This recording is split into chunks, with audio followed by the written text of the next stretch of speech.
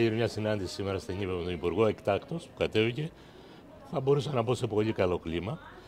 Από εκεί και ύστερα οι λύσεις οι οποίες τουλάχιστον για τους ανεσιολόγου οι οποίες προτάθηκαν από τον Υπουργό είναι να μετακινηθούν ανεσιολόγοι από τον ιδιωτικό τομέα τουλάχιστον για ένα τρίμηνο στο Βενιζέλιο νοσοκομείο και να καλύψουν ε, τέσσερα χειρουργικά τραπέζια ημερησίως ε, από τα τραπέζια τα οποία δεν λειτουργούν αυτή τη στιγμή.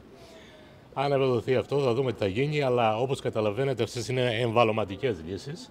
Εμείς θέλουμε μόνιμες λύσεις, όπως να δοθεί μια μόνιμη λύση με προκήρυξη ε, θέσεων αναισθησιολόγων, προκήρυξη και λοιπού προσωπικού, διότι το αναισθησιολογικό κομμάτι είναι μόνο η κορυφή του παγόβουνου. Αυτό ετέθη μετεπιτάσεως και το έχει κατανοήσει ο Υπουργός ότι υπάρχουν πολύ σοβαρότερα προβλήματα κάτω από το ανασυλλογικό. Υπάρχουν πολλά τμήματα τα οποία υπολειτουργούν αυτή τη στιγμή, οπότε θέλουμε μια λύση συνολική του προβλήματος.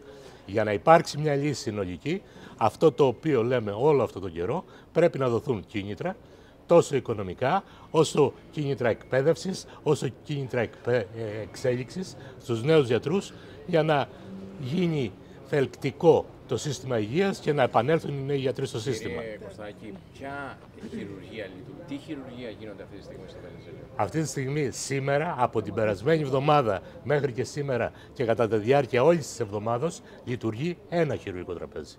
Το οποίο κάνει και επίγοντα και κάποια ογκολογικά. Αν δεν υπάρχουν επίγοντα, μπαίνουν κάποια ογκολογικά. Αλλά δυστυχώς το χειρουργικό τραπέζι το οποίο είναι λειτουργικό αυτή τη στιγμή στο Βενιζέλιο είναι ένα.